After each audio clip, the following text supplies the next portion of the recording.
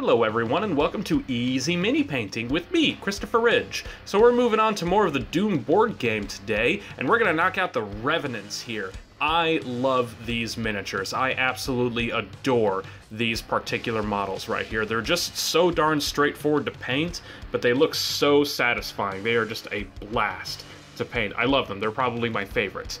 So without any further ado, let's just get to it. Alright, so we will have started with a first layer of Dragon Red. You can use a regular paint like I have right here that comes with your regular Army Painter Mega Paint set, uh, or you can use the spray primer because that particular color is available as a primer if you want to get that. Uh, it doesn't really matter, you can do a spray primer or you can do a brush primer, but we're going to start with a Dragon Red color here. And the other thing that I did too was I just used some matte black there to get the bases knocked out. You can do that before or after, it doesn't really matter, just whatever you prefer. And the Revenants are going to be the first miniatures in which we will be utilizing very prominent dry brushing techniques. So what we're going to do is we're going to take out some of that barbarian flesh color. We're going to use that to dry brush basically all of the skeletal bits of the Revenant. So you want to use a dry brush. I have right here an actual Army Painter dry brush. You don't necessarily have to get this brand, although, you know, it's whatever, whatever you prefer, whatever is your fancy. Now, if you don't have an actual dry brush like this, you can just use kind of like a flat chisel kind of brush. So like I've got a good example right here. This one's a little bit small, but uh, you could use this sort of thing right here uh, in its place. You know, it's, it's, it's just kind of whatever. All right, and to go over what we were talking about with dry brushing, what you're going to do is you're going to take your dry brush, you're going to take your brush, and you're going to just lightly sort of nudge it into your paint puddle, just a little bit. And you're going to wipe off most of it. That's why they call it dry brushing, is because you have such a small amount of paint on the brush that it is almost dry. We're going to be utilizing this very clearly for the Revenants, as you will see. So here we're just getting a lot of paint on there, wiping off most of it, making sure that it's uh, semi-dry. You don't want it to be dripping wet by any means. Okay, and there we go. We've got a nice, nice amount of paint onto the brush there. All right, so why don't we, uh, why don't we start with the face? The Revenants have, you know, kind of a bloody base, but they've got like some skin barely left on them. And this dry brushing technique works really well for that. It gives that sort of look of like skin is still there, kind of, but it's just barely hanging on in a lot of ways. It's just it's very you know peely and and bloody and flesh-like. Dry brushing is a great way to get that effect across. You're mostly just going to do the uh, the front of the Revenant's face.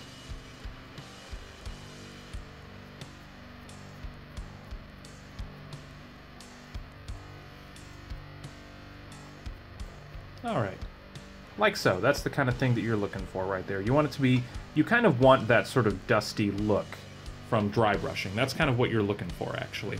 We're going to do the same thing with the legs. The base of the legs, like the calves and the actual feet, are pretty much entirely skin tone. So feel free to, to really go at it whenever you're doing the base of the legs. But as you work your way up, as you get more toward the thighs and the hips and all that, it's going to become a little bit more bloody. So you'll actually kind of lessen up, you know, lighten up a little bit on your dry brushing the further you move up the leg. All right, now, uh, here's an important thing to go with uh, to note with dry brushing. Whenever you're doing it, you always want to make your your strokes um, perpendicular to a lot of the low contour lines. So there are some really, really well-defined contour lines here um, on the Revenant's leg and that's uh, the shin bone sort of sticking out. See these these two long lines on either side of the shin that really separates them? You want to go perpendicular to those lines, like this. Okay?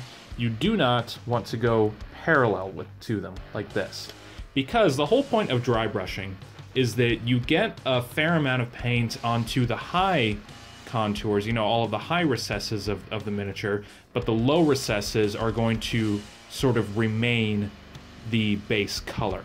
Uh, you get the same sort of thing right here with his ankle. You can kind of see his ankle there. You want to you want to keep those lines nice and defined, just like that. And then with his toes, you're going to move across his toes, like this.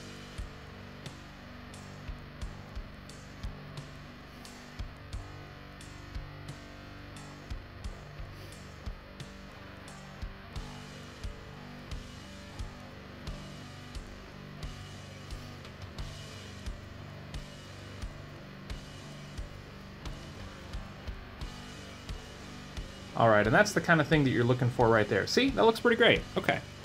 And like I said, you're going to sort of lighten up a little bit the further you go up the leg. So just sort of lightly, you know, kind of start to move up the leg, but don't go too crazy.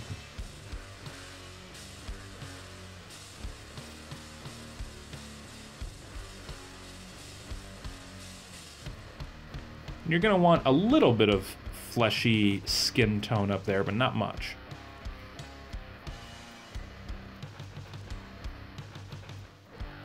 All right. A little something like that. That looks pretty good. All right, so we're to do the same thing with the other leg here. Yeah, now that I'm doing this uh, in person, actually, it, you might save the bases for the last thing that you do, actually, just because as you're dry brushing, you're probably going to get a little bit of that skin tone on the base itself. You can kind of see it on, on his left foot. You can kind of see it on the base right there. It's not a huge deal. It's just kind of whatever, you know, you prefer. So you might save the bases for later, or if you want to just knock them out ahead of time, you can do that too. I don't think it'll be a huge deal. Man, I love dry brushing. Something about the technique is just so instantly gratifying. Something about it, it just you're you're in control basically the whole time. I love it. I really really like dry brushing a lot. For a long time, for many years actually, all I did was just dry brushing techniques. That's all I did for all of my shading. I didn't use any shades, I didn't use washes or anything like that. I just used dry brushing for virtually everything that I did. And, you know, in a lot of ways, it, it's sort of made me be a lot more creative about how I approached shading and that kind of thing. But uh, man, having having those liquid quick shades really does make things a lot easier. But yeah, I'm just I, I love dry brushing. It's there's like I said, there's there's something about it that's just instantly gratifying that you know I just love. Okay. And there you go. So now you've got the the skin going up the legs there just like that. That looks pretty cool. All right. We're also going to do a fair amount on the back because even though like kind of kind of like the hips and especially the guts there on his bottom are kind of kind of uh, ready. They're they're all red and bloody. His actual back is has has some actual skin on it. So we'll go ahead and do this. Now, one thing that you're going to notice while I'm doing this and while you do it yourself is that if you do this, you're going to get some of the flesh tone on all of the cyber bits, like the jetpack right here, as well as all as well as all of these little cyber bits on the side. Not a huge deal because we're just going to go over those completely with a metallic color later on. So don't worry about it. Totally fine. All right, we're going to do the same thing with the arms. Well, we're going to have the hands be a little bit more prominent with the skin tone and we'll sort of leave it red the further we get closer to, you know, his shoulders and his chest.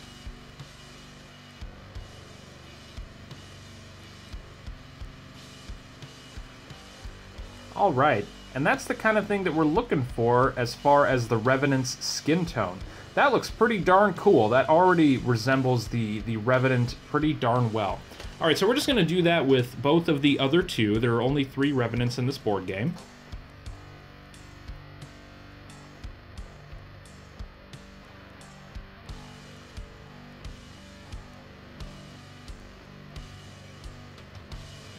Right. And then that is pretty much all that there is to it for the Revenants. Those are already looking pretty darn cool, if I don't say so myself. Get a little bit of focus there. There we go. Yeah, yeah, that's coming along pretty cool. All right. The next thing that we're going to do is we're going to go ahead and just get started on all those cyber bits. So what we'll move on to is a metallic color. So let's go ahead and use some shining silver for all of our cyber bits. That'll, that'll include the cyber armor as well as the rocket launchers and all that good stuff. So for the armor itself, it doesn't really matter what type of brush that you use, so I'll just use, you know, a kind of bigger no-name brush right here. Uh, you might want to use a smaller brush, though, when you get to the individual cyber bits, like on the arms as well as on the, the legs and all that. So first I'll go ahead and knock out the jetpack.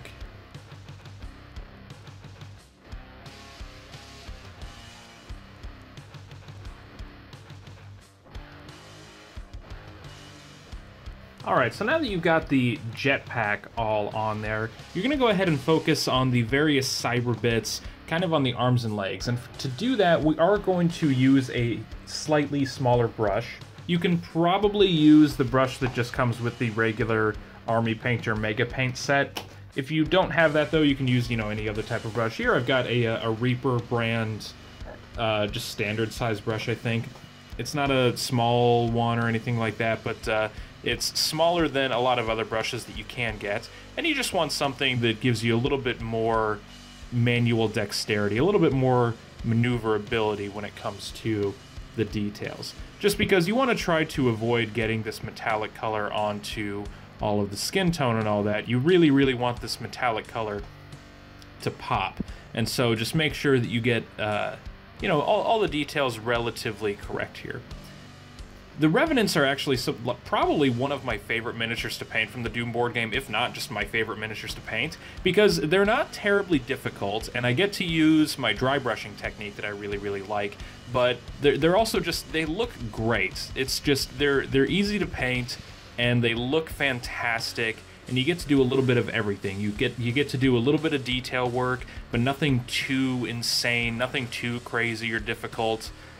Uh, and you get to use, you know, dry brushing, which I just, I love doing. I just love dry brushing. I always have. Yeah, just kind of going over all the different metallic bits here.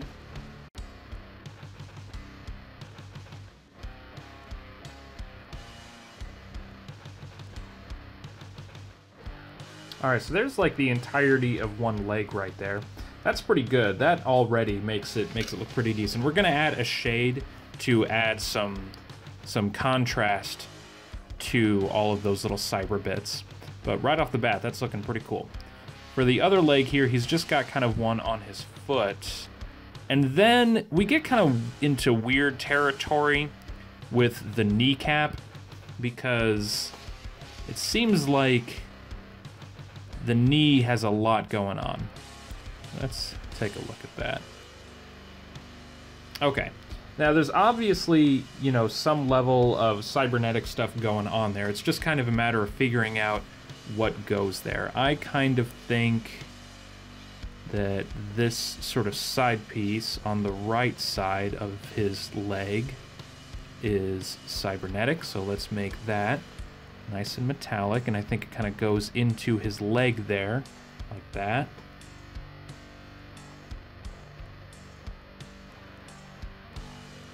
And we'll do the similar sort of thing on the left side of his knee.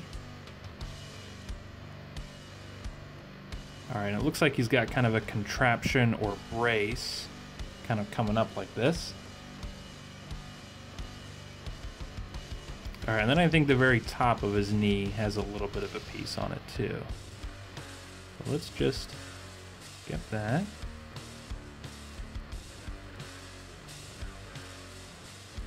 And there you go. That's that's pretty good right there, I would say. I think that that pretty well covers up the knee. I think that the knee itself, like the kneecap and the shin, is still kind of like original bone. So I would just leave that unpainted, and that should look pretty okay. All right, next up, let's go ahead and get, he's got sort of like little bolts on the side of his hip. One right there like that. Uh, and he doesn't have one on the other side, but that's because he's got, you know, this whole contraption coming up the side there. And let's get side of this just a little bit. Like so. All right, there we go. All right, so now we're gonna look at the arms, and there's a big prominent sort of elbow pad on the back here. All right, and then he's got some big wiring coming up on the sides of his arms. And you can probably just go over it with a single layer like so. There we go. That looks pretty cool just like that. And then he's got kind of a wire going all the way up from his shoulder, and as, as well as kind of a bolt on the side, like that. We'll get the wire coming down. Alright, he's got kind of a wire coming out in between his thumb and his finger there just a little bit.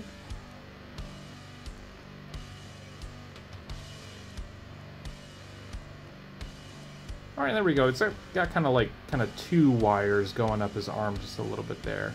I don't know if that's just a molding imperfection or if I'm just looking at that wrong, but uh, that seems about right to me. And then that will pretty much do it for all of the metallic bits. So the big points of focus is that you want to get the, the leg, you want to get the kneecap, the little thing on his foot right here. You want to get just the single kind of wire going on the side, the elbow pad, you want to get the, the wires on the right side here, which, again, maybe those are more just a molding imperfection, but, uh, yeah, whatever. And then you want to get the little thing on his thumb, which I can probably do a little bit of a better job on. There we go, that's pretty good. Okay. Uh, and then you want to get the wire coming up to his side like that. And then you want to do just obviously the main jetpack itself, but that's a little bit more straightforward. And then that's pretty much it. So you're just going to do that with all of the other ones.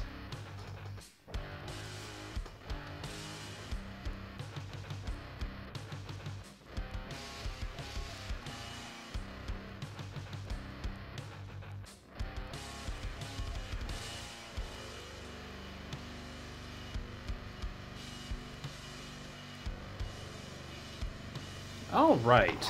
So there we go. Now we've got our Revenants with their with their bloody, fleshy skin tone, as well as all of the cyber bits all over their bodies. Their jetpacks, their you know various components and all that. Okay, so that's looking pretty good.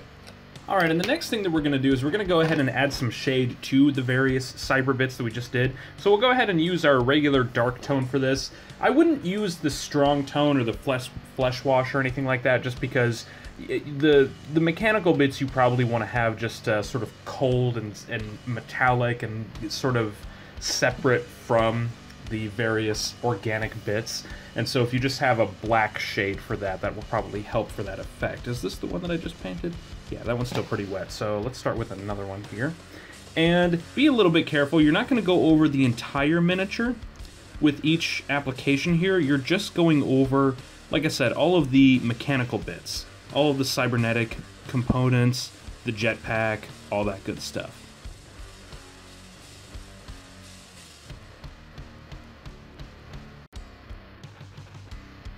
Alright, so there we've just got the jetpack on one of him.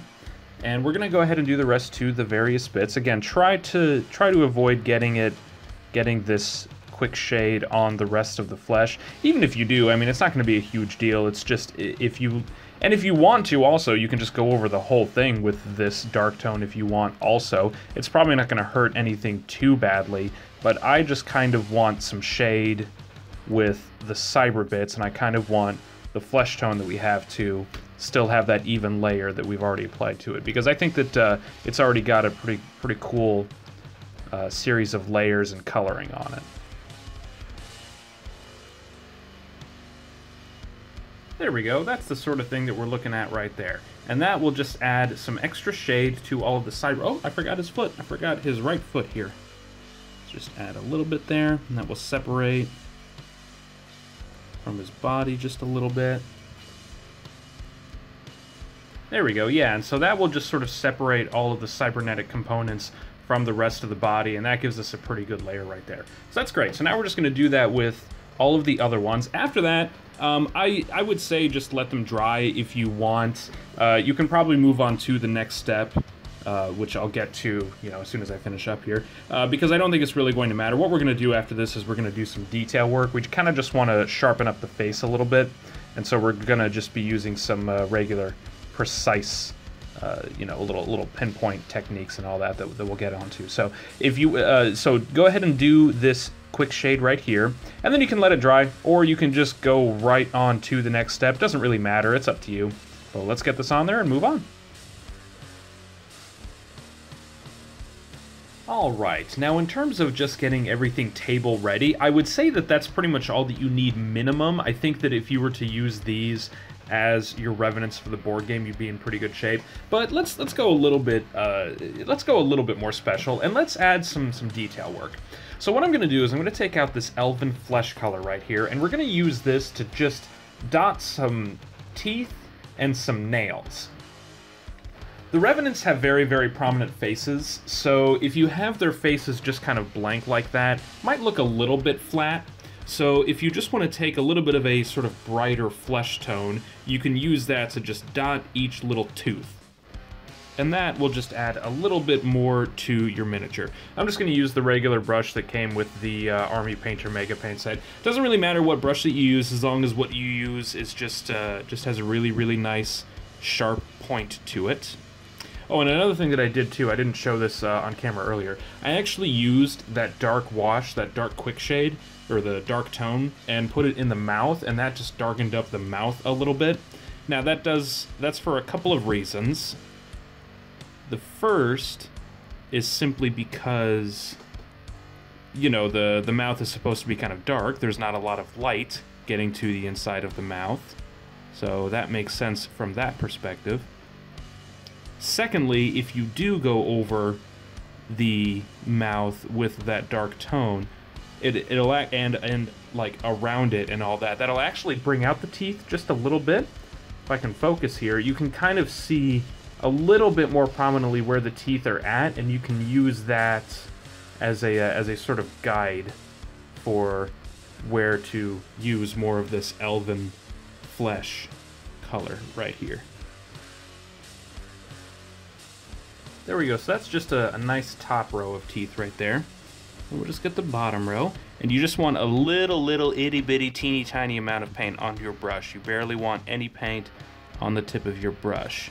Uh, if you want to, you can water it down a little bit too, and that will just be able to let you apply some with a, with a little bit of a smaller dot. That's up to you. I, I tend to just use the consistency that comes straight out of the bottle, but that's up to you if you want to thin the paint down with a little bit of water, or if you don't. And there we go, that just gives him a nice, really, really prominent row of teeth. Rows of teeth right there. That looks pretty darn good. And the last thing that I'm going to do with each individual one is I'm just going to go ahead and uh, paint all of the toenails and fingernails, and it's just going to be a little bit of extra detail on there that isn't going to be too prominent or too weird or distracting, but it's going to be just a, you know, it's just going to be the icing on top. It's just going to be a little bit of a mwah, uh, chef's kiss, if you will, uh, for the miniature. Just to have that little tiny bit of extra detail on there. There we go. Oh, that looks great. Then we'll do the same thing with the hands. Just get a little bit onto the hands, and that will kind of give the sort of look that he's got fingernails.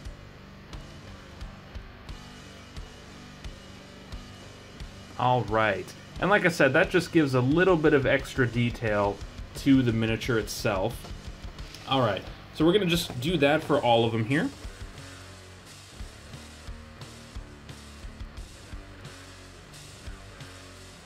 All right, and that will about do it for all of the claws and teeth and such. Those look great. The last thing that we're going to do is we're going to go ahead and glow up those eyes just a little bit. Now there are a couple of things that you can do with this color that I'm going to use right here. So what I'm taking out is the Daemonic yellow color, which just works so darn well for Doom. And what we're going to do is we're just going to get the centers of the eyes right there. Now, if if you did the dry brushing technique, then the eyes should still be pretty pretty red. Like that's a good example right there. They're pretty red. Got a little bit of the skin tone into this one, but that's okay. So if you have like a red a red sort of start, and then you go over the center with this yellow color, that should give it a nice glowing sort of look.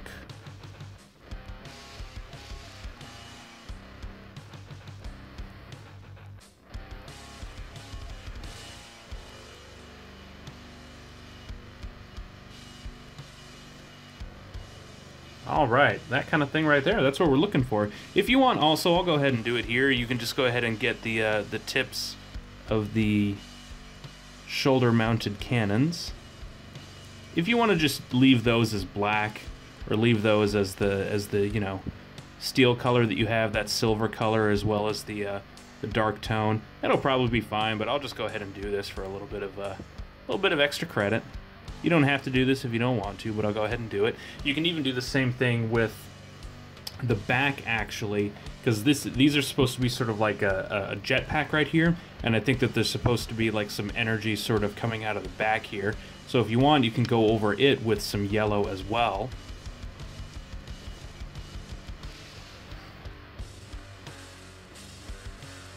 Alright, just like that, like so. So now you've got a nice glowing kind of bit there from the jetpack as well as the uh, the eyes and the arm and the uh, shoulder cannons there. And if you want, you can do the, the chest piece here too. Sure, let's go ahead and do the, the center chest piece. This one's not as big of a deal, but if you want to if you want to just do it for the sake of doing it, I would encourage you to do so. There we go, just like that. And that is pretty much all that you need for the Revenants. So let's just do that with the other ones. And then we're to go ahead and do a layer of... I I think that the, the Revenants are kind of wet and bloody looking, so we'll use the gloss varnish on it, on them whenever we're done here. But yeah, just go ahead and get the uh, the yellow going for the eyes. The eyes, I would say, is the are the most important part. You can do the uh, the extra bits, like you can do the you know shoulder cannons. You can do the uh, the shoulder mounted cannons there, and you can do the uh, the back of the of the jetpack and the center or whatever. You don't have to if you don't want to though. So if you just want to leave it like that, that should be just fine. But yeah, that'll be it. And then after that, we're gonna use our gloss varnish, and then we're done.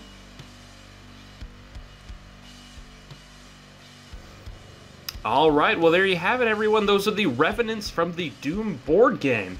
All right, so like I said, the last thing that I did was I went over all of them with a layer of that gloss varnish. The only thing that's a little bit different was I used regular matte varnish for the bases right there, and that's just so that they would match with the other bases that we've already painted so far. Another thing that I did too before doing that was I went back over the bases with another layer of black, just because all the dry brushing that we did, there was a little bit of a dusty sort of coat of that flesh color on there. So if you just go over that with some black again, that'll that'll help you out. Or if you just paint the bases at the end of the miniatures rather than before like I did, and that will work out just fine for you. So there you go. If you like the video, go ahead and throw it a like. If you want to see the rest of the Doom board game being painted, go ahead and subscribe to the channel. There's not a lot else to do. I'm going to knock out the Barons of Hell and the Mancubi, and then the Cyberdemon. We've only got all of the large miniatures to go after this. So you've got those to look forward to. And after I finish painting the Doom board game, I'm going to move on to the Resident Evil 2 board game, I think. And that should be a lot of fun. Go ahead and follow me on Twitter. I am at Paintamini on Twitter. I'll post some miniature stuff. I'll po post I'll, I'll, post a lot of random things, but I, but I'll try to paint, you know, post some mini painting stuff on there from time to time, so you have that to look forward to. So, thank you everybody for watching. We'll see you next time. Have a good night.